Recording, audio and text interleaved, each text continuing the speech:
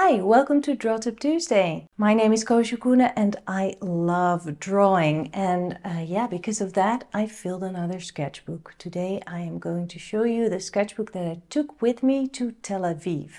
Why did I go to Tel Aviv? Well, I've been wanting to go there for ages. And now I had the perfect excuse because I was taking a workshop taught by Maru Godas and Marina Grechanik. They are very colorful, creative, amazing, inspiring artists. And they were teaching in Tel Aviv, so one plus one was like 10. Now, in this sketchbook tour, you won't see any of the workshop assignments that we did during class. I learned so much. If you're curious to see that sketchbook with all the assignments in it, then you need to go to my Patreon page because I am sharing a sketchbook tour of that sketchbook with my patrons only. It's exclusive material. You will find a link to my Patreon page below this video.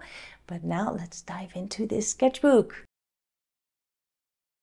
This is a Hahnemühle sketchbook size A5. It's a Nostalgie sketchbook which has smooth pages, 190 grams and 80 pages.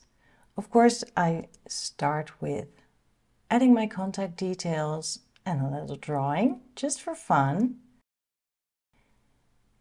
And I dive right in, drawing in my hometown Amersfoort with a bunch of other sketchers actually, which was really great. We went from place to place. There's a couple of the sketchers. After that, I also caught up on Zoom with another art group, which was perfect. Drawing the insides of a drawer only comes to show that everything is interesting when you draw it. Here's the start of my trip to Tel Aviv. I start drawing on the train. There was a lady sleeping, so she was just perfectly modeling for me. And then I had a couple of hours to kill at the airport. So I used my rainbow pencil to draw some people, drawing on the plane and drawing from my hotel bed, also adding a map of Tel Aviv and also the note that I got from the hotel when I arrived and the business card.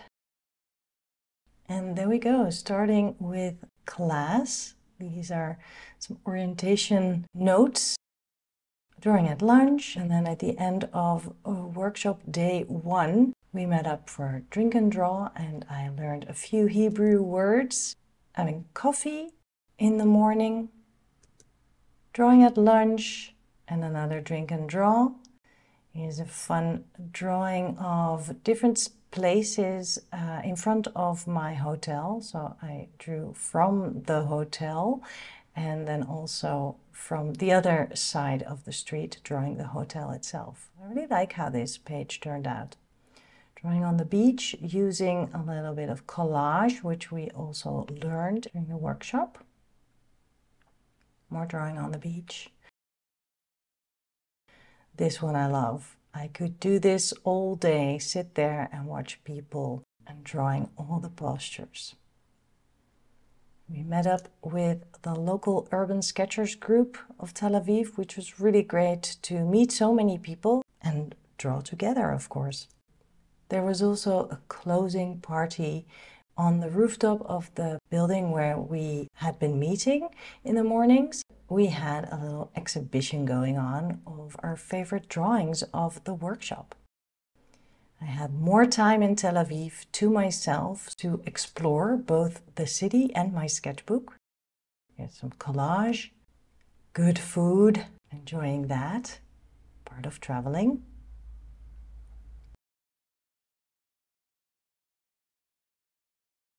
I was proud of myself being brave, asking this man as soon as I saw him if I could please draw him because I just needed to.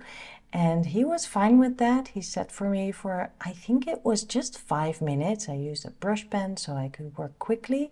And I added more people while I was walking on the flea market after. When I looked at it again at the hotel room in the evening, I added more dark and black in the drawing. I felt like something was missing, so I added the bright pink with a Posca marker, and I think that just does the trick. On purpose, I didn't bring extra ink because of the workshop. I wanted to challenge myself and not always going back to my go-to fountain pen. So I ran out of ink in the middle of this drawing. That was okay because I just kept going using watercolor and then also finishing things with colored pencil and that also informed my next drawing for which I used another pen with soluble ink in it. Oh, drawing the Bauhaus, I had to include that. More Bauhaus on Rothschild Boulevard with some collage included. And looking at all these pages makes me really happy because it really reflects the week, the experience, the exploring that I did, the wonderful workshop I took, the friends I made. And this is just the best souvenir. And then, of course, I'm drawing on my way back home. And once I'm home, I'm taking a little trip again to Amsterdam this time to meet up with my friend Suhita, who was in Amsterdam for just a bit. And we met up to draw, to catch up. And it was so wonderful to sit next to each other after all these years again.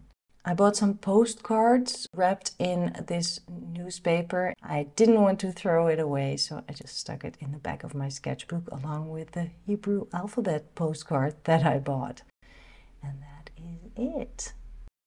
I hope you enjoyed that. And you probably also noticed that this sketchbook wasn't dedicated to the trip. It started with drawings in town here, where I live, and then it moved into the trip. Some people love dedicating a sketchbook for a trip that they're taking, but the risk is that you will never fill the whole sketchbook and you feel a little bit frustrated because, well, sometimes a trip is just one or two days or maybe a week and just filling the whole sketchbook in that short amount of time while you are also exploring the place that you are in and doing all kinds of activities. That's kind of a lot. So the pressure of a whole blank sketchbook is maybe a little bit high.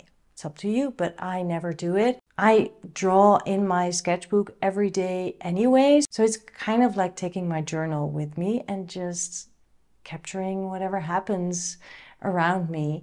And yeah, I happen to draw more on a trip because yeah, I have more time. I'm not working. I am frantically, creatively filling my pages, especially on a trip that is all around drawing and creativity. Your assignment for this week is to go on a little adventure yourself. It can be really small. Take your sketchbook with you when you are going outside anyway to do grocery shopping or whatever.